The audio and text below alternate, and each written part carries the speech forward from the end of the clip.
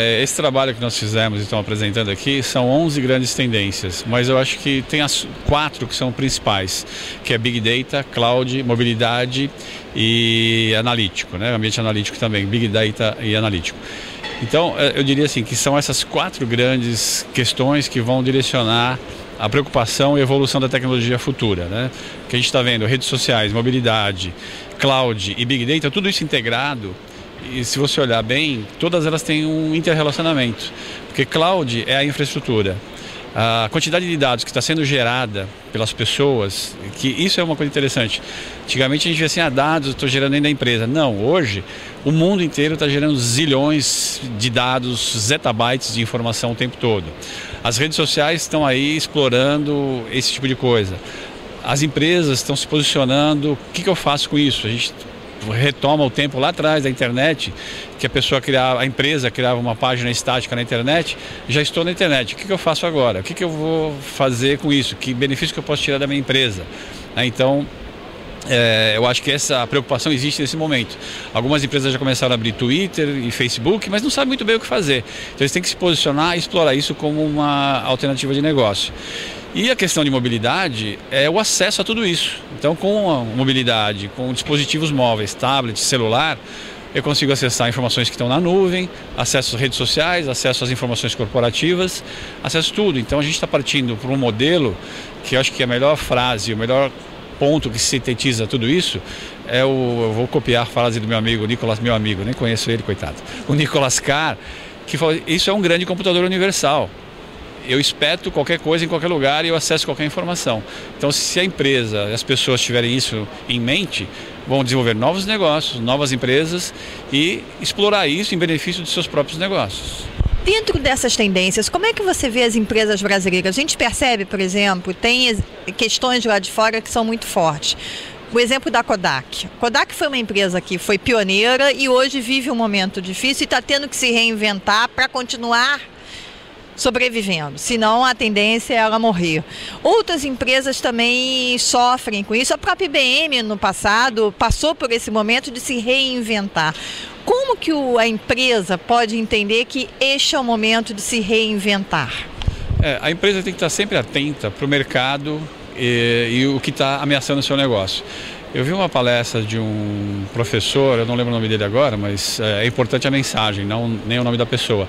É você saber que muitas vezes aquele cara que você acha que menos te ameaça é o que te ameaça demais, é o que te ameaça mais. Então ele deu um exemplo da indústria automobilística, que também é um outro exemplo interessante, que foi não só ah, os fabricantes japoneses, como também agora os coreanos. Quando você começa a ver uma empresa como uma Hyundai, que hoje tem uma, um, market, um market share bastante interessante, os primeiros carros que eles produziram tinham uma qualidadezinha lá, não era muito legal. Mas hoje, eles e algumas empresas olharam para aquilo e falaram: ah, isso não é nada, esse cara não me ameaça. Mas na verdade ameaçou sim. Tanto é que hoje eles estão conquistando o mercado de carros de luxo.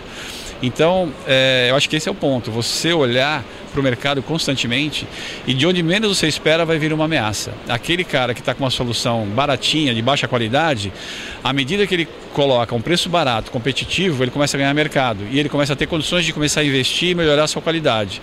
Em poucos anos ele passa a ter um produto altamente competitivo em termos de qualidade com aquela empresa que estava no mercado estabelecida e que não atentou para aquele desafio.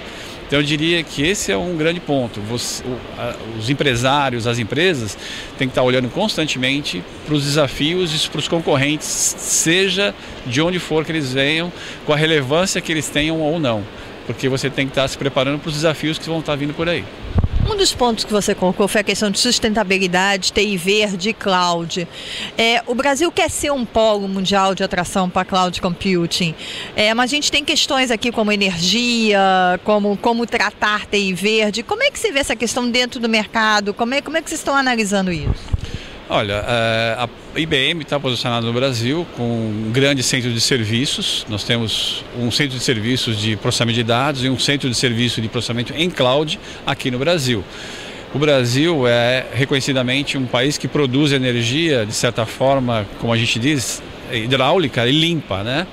É, então a gente está muito bem posicionado em termos de energia, existe um potencial muito grande ainda do Brasil para explorar. Então eu diria que o Brasil está muito bem posicionado não só a IBM, mas outros grandes players estão vindo para o Brasil, abrindo seus data centers aqui em termos de cloud, ou seja, criando esse conceito de, de cloud. E a energia é uma questão importantíssima, né? Claro, porque a hora que você cria uma cloud, você cria um data center de o que a gente chama de é, alto teor de dissipação de calor.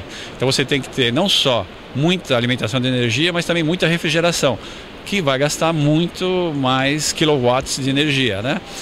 Então, é, dentro desse conceito, o Brasil está bem posicionado. A gente está trazendo é, incentivos e uma, usando os incentivos e trazendo empresas para o Brasil, a própria IBM continua investindo bastante aqui, criando, expandindo cada vez mais o nosso data center.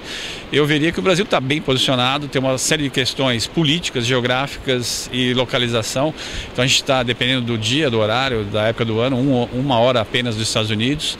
É, estabilidade política é importante, então uma empresa americana vai pensar duas vezes de colocar uma aplicação num data center que está no Brasil, na América do Sul ou na Oriente Médio, na Ásia, não sei, depende. Né? É, e o Brasil está muito bem posicionado em relação a estar num momento muito favorável da economia, em termos de estar posicionado dentro dos BRICS. Né?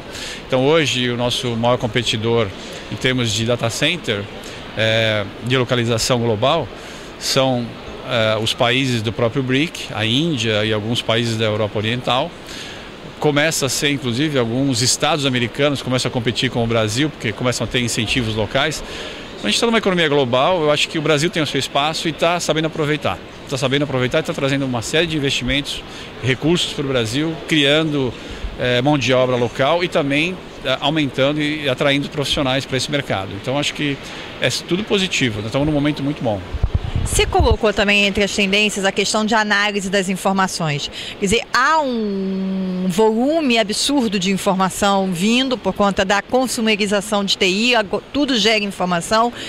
Mas qual é hoje a dica para transformar essa informação num dado de negócio? Essa é uma questão muito importante, né? Porque a gente está acostumado com essas aplicações analíticas e se você olhar para as grandes empresas, e pequenas e médias empresas também, todas elas usam essas informações de uma forma ou outra para é, em benefício do seu negócio, fazer análises estratégicas, projeções de vendas, de volumes. E até então, alguns anos atrás, a gente olhava muito para os dados que eram gerados dentro da empresa que são dados normalmente conhecidos e estruturados. Então agora você tem com a explosão, né, com o Big Data, né, que é essa grandes dados aí, que é uh, essa questão de mobilidade, as questões das redes sociais, que milhares, milhões de pessoas estão gerando conteúdo e colocando essas informações disponíveis na nuvem, vamos dizer assim, para todas quem quiser usar e usar isso em benefício, estão disponíveis. Então as empresas têm que buscar é, ferramentas e usando tecnologias para fazer esse tipo de análise. Então, um exemplo que a gente poderia usar para fazer um tipo de análise desse tipo é a própria tecnologia da IBM que está sendo usada no projeto Watson. Porque uma coisa é você usar uma informação estruturada, que você sabe, nome do cliente, endereço, CPF, CEP, nome do pai, nome da mãe, ou seja, essa é uma informação totalmente estruturada. A outra coisa é pegar uma informação sobre sensing. O que estão falando da minha empresa agora no Facebook? O que está falando agora da minha empresa no Twitter? O que estão falando da minha empresa em qualquer rede social, em qualquer lugar do mundo? Que ferramentas que eu tenho para extrair essa informação? Então eu usar as minhas informações estruturadas, que é o que eu domino, com esse mundo desconhecido que é o que está aí, na nuvem, no mercado. Então já existem ferramentas, tanto da IBM quanto do mercado, para explorar e obter benefícios dessa explosão de dados. Então a gente, não só a IBM, como o mercado, tem uma série de ferramentas e as empresas que vão sair na frente são as empresas que começam a usar esse tipo de tecnologia, como foi lá atrás eh, na época do surgimento da internet, algumas empresas, ah, eu vou criar minha homepage. Outras não, eu vou fazer negócios usando essa tecnologia. Então é a mudança é clara. Uma coisa é fazer um advertising, outra coisa é usar para criar um novo canal de negócio. E a gente já vê empresas brasileiras, o exemplo que eu dei, inclusive, do Bradesco, que é o primeiro banco que abriu um banco no Facebook. Você hoje vai no Facebook tem um banco Bradesco lá. É claro que eles criaram toda uma segurança por trás disso, porque não estou falando de banco, estou falando de dinheiro, de transferência de dinheiro. Então é bastante interessante um exemplo de uma empresa brasileira, de um banco que já tem o Facebook na, implementado lá com aplicação bancária. Segurança sempre foi um grande temor para o CIO. Só que hoje, além de cuidar da rede interna, ele precisa gerenciar a vinda de dispositivos de, dos funcionários para dentro de casa. Qual é esse desafio? Como que as empresas estão lidando com isso, com os tablets, smartphones e tudo que está vindo por aí? É, eu acho que tem dois pontos importantes. Né? O primeiro é a flexibilidade e o benefício da tecnologia. Acho que a gente tem que olhar esse ponto importante. E é claro que tem o desafio da segurança. Então, o, as empresas, os CIOs, o pessoal de TI, tem que possibilitar o uso dessa tecnologia, porque é, são benefícios. Né? O usuário pode tra trazer o seu próprio equipamento para a empresa, o seu próprio tablet, o seu iPhone, o seu smartphone, o seu Android, qualquer tecnologia, e usar isso em benefício da própria empresa. Porque se você olhar de certa forma, você pode até economizar algum recurso, né? Porque você não precisa. Se você dá essa flexibilidade para o usuário, ele vai se sentir feliz porque ele pode usar o equipamento que ele tem, que ele gosta, que ele está acostumado, acessando os dados corporativos. Então, o CIO, a área de TI, tem que se preocupar no como fazer, como permitir que isso seja possível, implementando todas as práticas corporativas de segurança, em termos de acesso, controle de acesso, é, proteção de informações que é o que a gente usa hoje. Qual a diferença de eu levar o meu tablet para a empresa e o meu notebook, ou o notebook da empresa? Os riscos são os mesmos. É só uma questão de implementação dessa, dessa, das práticas e das políticas, numa tecnologia diferente. Né? Então, é, eu vejo isso como totalmente benéfico. Várias empresas estão adotando isso. A IBM já adota isso até antes mesmo dessa onda que a gente está vendo agora.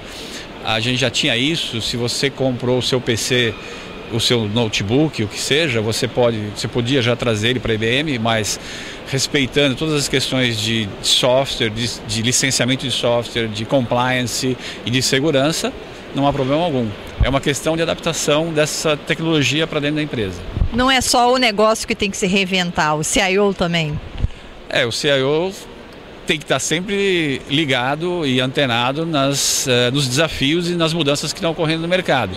Então, o CIO hoje está se preocupando em manter a operação, claro, é fundamental, manter o TI tradicional funcionando e começar a modernizar esse TI. Por que não mudar o meu TI interno para o mesmo conceito de cloud dentro da minha empresa? Então, a gente vem para esse conceito de nuvem privada ou de cloud private, private cloud, dentro da empresa. Ele vai ter vários benefícios. A gente tem exemplos, como o próprio Banco Santander, que implementou no ambiente de TI tradicional uma cloud para todo o ambiente de desenvolvimento.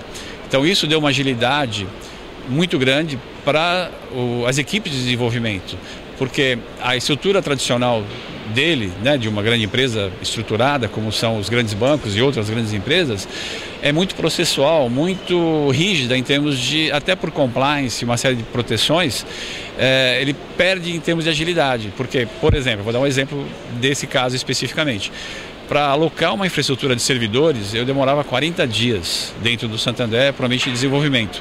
Hoje, com esse conceito de cloud que ele está usando, ele consegue alocar uma infraestrutura em quatro dias. Então, olha só a redução de tempo que ele conseguiu em termos de agilidade para as áreas de negócio. E aí o banco consegue criar aplicações cada vez mais rápido, respondendo cada vez mais rápido ao mercado. Então, é, se ele não fizesse isso, isso já aconteceu em outras épocas, o cara, o, uma área de negócio falou assim, meu, TI, você está demorando 40 dias para me entregar um negócio, eu vou comprar na nuvem. Isso não pode. Não é que não pode, até pode em alguns casos. Mas o CIO tem que estar tá controlando isso, porque senão ele perde o controle da informação da empresa. Ele até pode permitir que uma determinada área acesse e utilize os dados em uma cloud pública, mas ele tem que ter o controle, tem que ter uh, uh, uh, a ciência daquilo, porque a governança de toda a TI, de toda a informação é do CIO. Então, independente se está na cloud pública ou, private, ou privada, ou na nuvem, fora, ele tem que ter controle disso. Ele pode até abrir, não, essa aplicação faz sentido a gente usar a nuvem, mas essa aqui não. Isso aqui tem dados sensitivos, confidenciais, a gente tem que proteger a informação da empresa. Então, o CIO tem que entrar nesse contexto e saber posicionar e saber controlar as áreas de negócio, eventualmente até para que usem adequadamente todas as tecnologias disponíveis.